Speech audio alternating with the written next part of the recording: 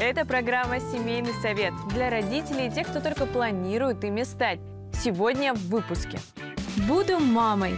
Что успеть до беременности? Пошаговая подготовка. Сладости. Главный атрибут детства или яд для ребенка? Клубничный санде. Готовим главный витаминный десерт этого лета. Пока не доешь, из-за стола не выйдешь. Стоит ли заставлять доедать ребенка? А сейчас полезная информация для тех, кто только планирует стать родителями. С чего начать подготовку? Ответит врач-репродуктолог.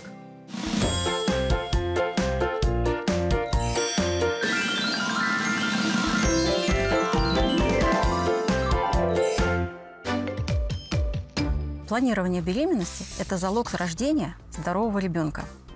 Что же нужно сделать супружеской паре, которая запланировала рождение малыша? До беременности нужно обязательно успеть посетить врача-акушера-гинеколога, отказаться от вредных привычек, прекратить прием препаратов, которые могут вызвать формирование пороков развития плода или оказывать влияние на плод.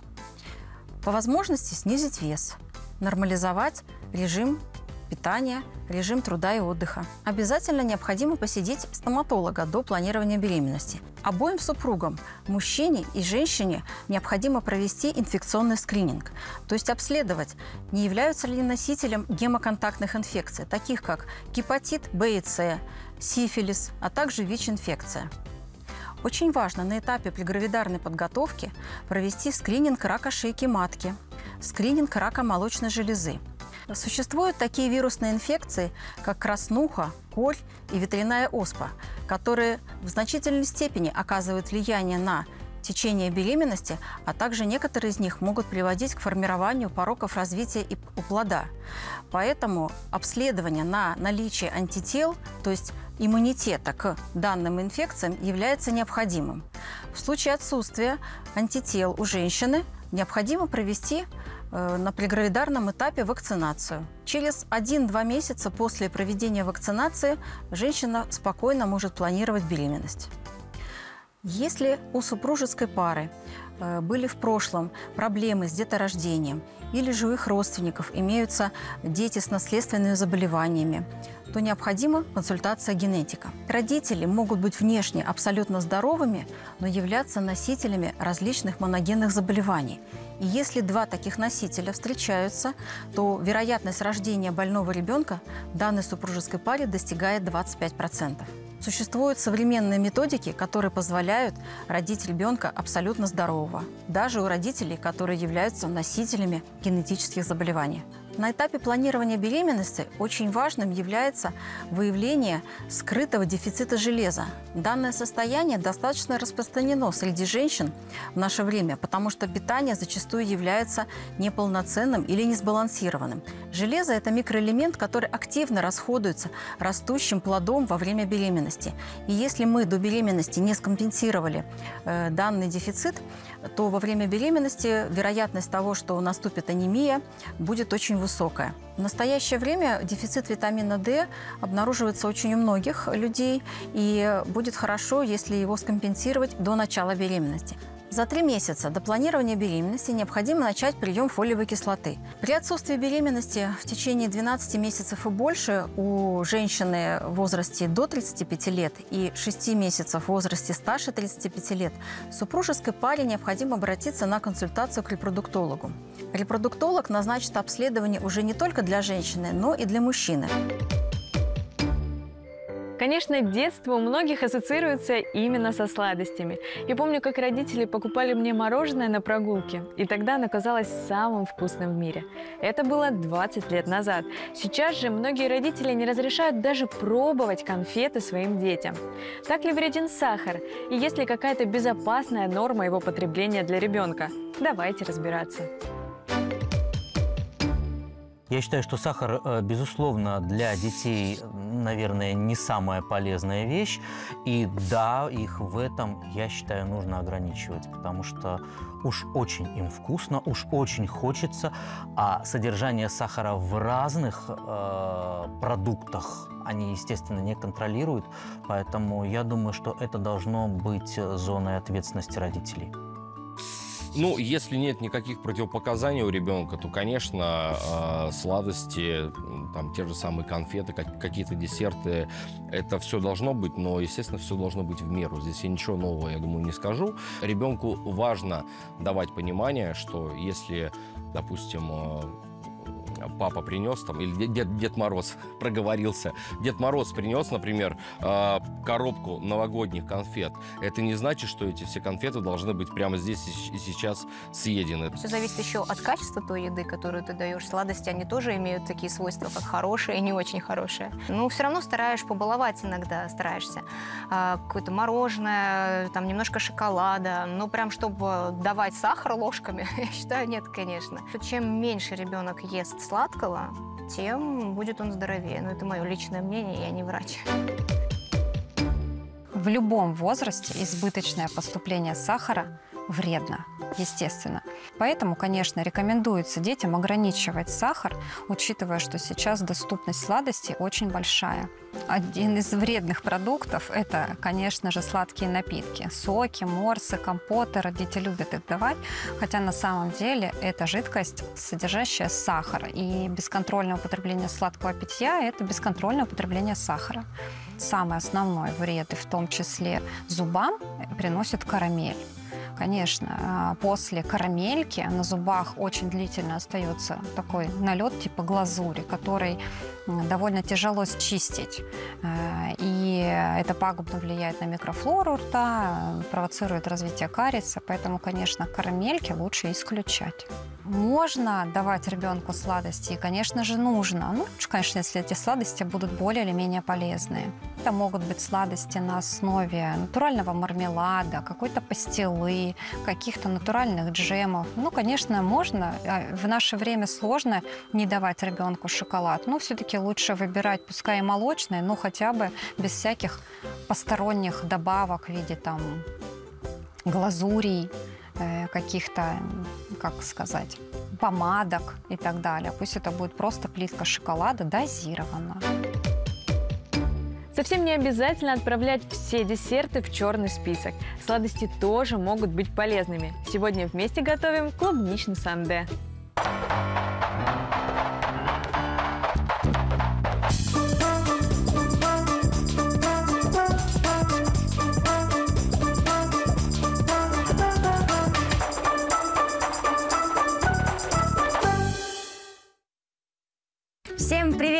Сегодня мы с моей тезкой Дашей Всем привет. готовим десерт санде. Мама мне не дает много сладкого есть. Этот десерт не только очень вкусный, но и очень полезный, потому что там много свежих фруктов и ягод. Этот десерт мама точно одобрит. Какие твои самые любимые фрукты или ягоды? Это клубника, голубика, малина и ежевика. Ну, половина из них будет точно в нашем десерте. Ура! Для этого прекрасного десерта нам понадобится голубика, Голубая. клубника, а также клубничное пюре, которое мы сделали из обычной клубники и сахара, перебив в блендере. Вкусная. Еще мы сделали заварной крем, который перемешали со сливками и охладили, чтобы он был холодным. Давай начнем с фруктов, подготовим их, точнее с ягод. Берем клубничку, выбирай самое красивое, которое тебе нравится. Это. И нужно отрезать у нее хвостик. Так, Я уже отрезаем. резала. Ты уже резала сама? Да. Ну давай тогда посмотрим, как ты справишься. Аккуратно, пальчики. У тебя отлично получается. Ты станешь поваром, наверное. А кем ты вообще хотела стать в будущем? Торты делать. Тортики? Да. Но ты будешь кондитером, да? Да, кондитером. Отлично. Клубнички нам, наверное, хватит. Чтобы десерт был вкуснее, кусочки поменьше были, как голубичка, мы порежем клубничку еще на 4 части. Сможешь сама? Смотри, берем так. Один и два. У нас получилось 4 красивеньких кусочка. Аккуратно пальчики. У нас кушай, не волнуйся. Спасибо.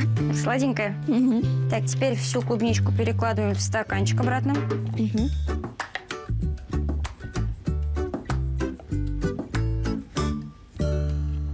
Берем клубничное пюре и первым слоем его наливаем. Смотри, какой красивый. Дальше берем кремушек. Давай покажу, по краю выложу, а ты остальной слой.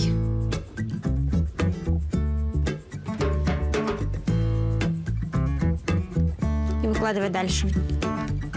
У тебя отлично получается. Спасибо. Ты вот дома десерты готовила когда-нибудь? Нет. А попробуешь? Да. Сделаем еще прослоечку из клубничного пюре. Сверху полей чуть-чуть немного. Ой. Поливай вот так сеточкой. Ой. Еще чуть-чуть крема. Прослоечка у нас готова, крем выкладываем. Немного, буквально чуть-чуточку. Чтобы поставить место для наших фруктов. Теперь выкладываем клубнику и голубику. Что, что первое начнем выкладывать? Голубику, давай. Середина? Ну да, красивенько. Может, цветочком. Как тебе больше нравится? Я сначала по кружочку, не, я сердечко сделаю. Сердечко. Маме сердечко посвящаешь? Да. Наше сердечко превратилось в цветочек. Да. Ну давай по краю расставим клубничку. Что так красивее будет. Смотри, как красиво получается. Так, клубничная корона у нас будет. Ой, повезло твоей маме. Будешь теперь каждое утро ей на завтрак готовить десерты. Да. Ты это теперь умеешь. Я теперь знаю рецепт. Вот так, мамуля, просыпайся. Твой завтрак готов. А там на кухне стоит санды. Да. Я думаю, достаточно. Всё. Какой красивый десерт у нас получился. Самое время пробовать. Да. Бери десертик. Ага. Ммм, вкусно. Ложечку за маму, ложечку за папу. Чтобы накормить своего малыша, многие родители устраивают практически танцы с бубнами. Другие же, наоборот, строго сообщают своему ребенку, что никаких мультиков, пока все не доешь. Правильный рацион, конечно, важен, но стоит ли заставлять доедать ребенка? Давайте разбираться. Моя Лера года в два, в три не ела практически ничего. И в тот момент как раз была очень популярна реклама малоешек. И даже это я пробовала давать. Был какой-то период, я не знаю, с чем он связан, хотя она была абсолютно здорова. Она ничего практически не ела. Это был кошмар, конечно. Я считаю, ребенок сам знает, какую порцию, какое количество еды ему нужно съесть. Иногда нужно от ребенка просто отстать в какие-то моменты, да, а, не перегружать его едой, не заставлять ни в коем случае, не манипулировать тем, что если ты не съешь, ты не пойдешь на улицу. А ребенок чувствует сам по себе, когда ему достаточно. Наверное, не нужно пускать все на самотек, потому что э, основы вкусового и пищевого поведения у ребенка формируются в семье. Поэтому то, насколько родители смогут это сформировать, наверное, очень сильно повлияет потом на пищевое поведение ребенка в будущем. Э, безусловно, это нужно делать не насильственно, но как-то так достаточно, может быть, в какой-то мере строго. Дочь Кира, э, она вот с самого детства у нее действительно вот это буду, это не буду. Э, Соответственно, здесь тоже как-то пытались этот вопрос решить. У супруги, у моей у жены, э, у нее такой подход, что не хочет, пусть не ест, не надо заставлять. Все. Проголодается, съест. То есть, если ребенок не хочет, как бы, вот она, да, она может там что-то поклевать, как бы, и, и все. А сыном этих проблем почему-то вообще нет. Очень часто родители беспокоит э, то, что ребенок, на их, на их взгляд, ничего не ест или э, ест очень мало. И э, в данном случае родители стараются вот докормить, заставить ребенка доедать все, что есть на тарелке. На самом деле в этом вопросе нужно быть очень аккуратными. Очень часто вот такое пищевое насилие является причиной различного рода расстройств пищевого поведения, которые проявляются уже во взрослом возрасте. Существуют, конечно, нормы питания, разработанные нутрициологами. Но в данном случае лучше ориентироваться на здравый смысл и э, смотреть, если ребенок весел, бодр, активен, возможно, ему просто достаточно этого объема питания. Во-вторых, э, может быть такая ситуация, что болеющий ребенок, конечно же, будет отказываться от питания, от еды.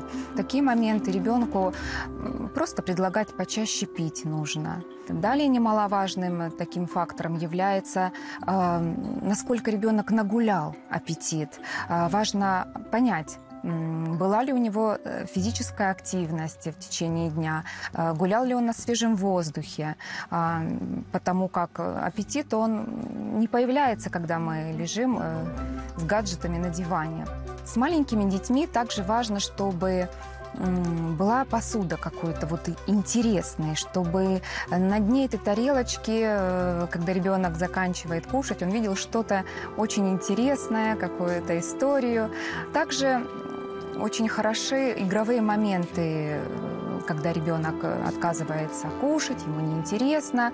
Можно внедрять какие-то элементы сказкотерапии, а, придумать различные интересные истории на эту тему. И тогда этот процесс будет гораздо приятнее протекать и для вас, и для ребенка. Это была программа «Семейный совет». До встречи через неделю.